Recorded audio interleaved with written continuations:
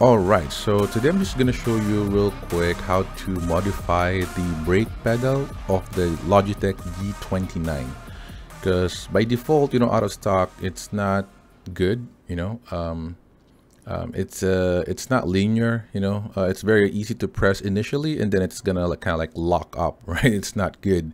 So I had to uh, modify it a little bit and I'm gonna show you here how to open this um, pedal set and then how to uh, do that modification that I've done.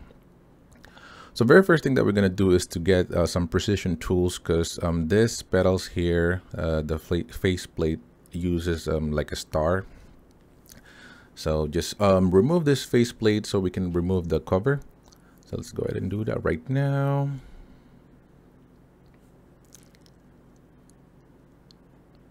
All right so yeah we got uh, three of course pedals here. Um, just remove those because it's kind of like um, gonna lock up the cover. So see it's using a star there right? Uh, I don't know if it's a hexagon or something but you need to use the precision tools like the one that I've got on the right side here. Um, yeah just go ahead and remove that. Now by the way if you notice there three positions as a matter of fact they can use. Let me just try to zoom it here. Um, you can actually adjust right when you're when you're putting it back. You can either put it on the leftmost part here in the middle or on the right side right depending uh, on your preference. So me I put it on the rightmost side and then the clutch on the leftmost side, most side and then the brake on the middle so that they have some adequate space for my big foot. Right all right. So once you uh, remove those um, faceplate, just go underneath and um, you know we're gonna remove the cover. Mine is mounted on a on a on a holder here, so I'm just gonna remove that. All right, now here um, you got a lot of screws that you need to remove, right? I believe it's total of uh, 14 screws. So, but it, all of them are silver screws, right? So let's just go ahead and remove it. Um, it you know, this bottom part has black screws, so you don't need to remove those blacks, right? Just this kind of like um, silver um, screws. Those are the screws that you need to remove. So two, three, uh, four, um, let me see, uh, five, six, seven, eight, uh, nine, 10. There are two in the bottom, 11, 12, 13, 14, um, yeah, so there are two uh, inside the carpet holder there. So make sure you open that up and uh, remove those two as well. All right, now that you remove removed all of the screw, you can just uh, lift up the uh, cover here, remove the cover. Now be very careful here because there's a cable that is very tiny here and very easily broken.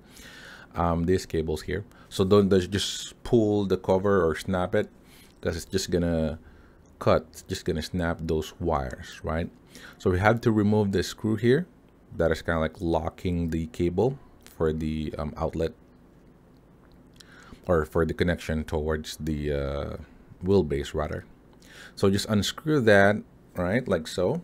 So you can just easily um, pull that rubber grommet there and remove the actual cable. All right so you can now remove the cover without any problem, right?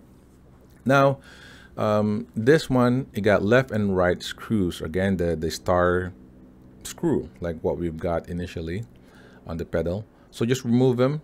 Now we're dealing with the uh, brake only, so we're not really going to handle other.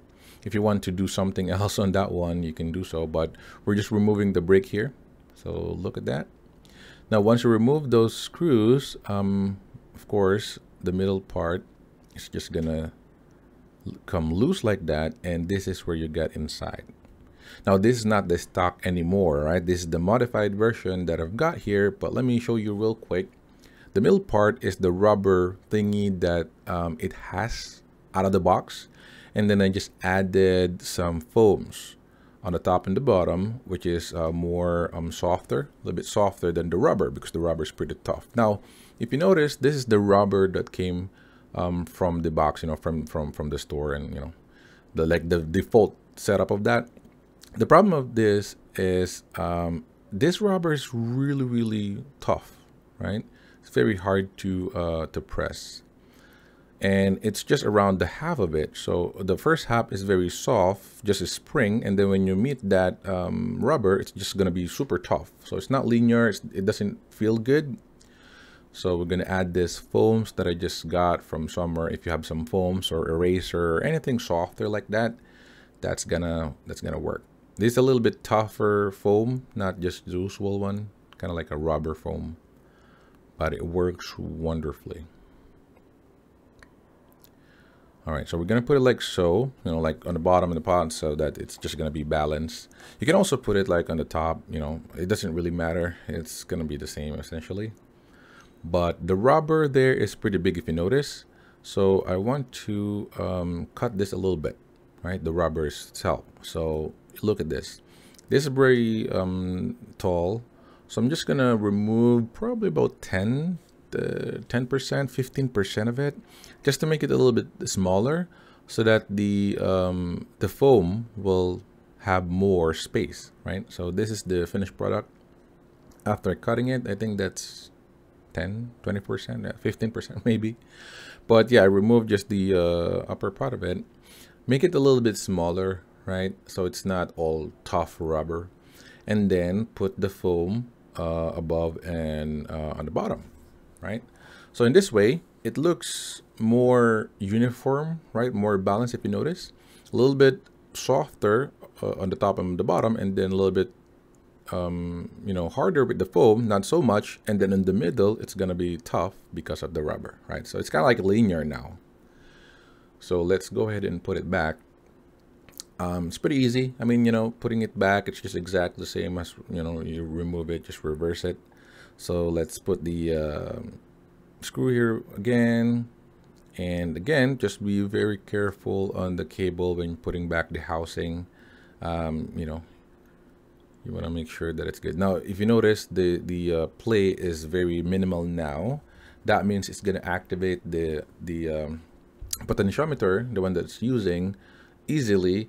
And it's more on linear form now unlike before that it's just gonna lock up your your brake because what's happening before is it's very soft in the initial part right so your feet will like press it accidentally really good and then it's just gonna be harder so your brake already is already locked up you know before it even triggered the rubber. So that's the problem. And if you want to really brake hard you're gonna have to press hard so it's not good. All right so we're done. Um, that's it. All right it's pretty easy. I'm now to show you uh, the play and uh, hope it helps. Hope this helps.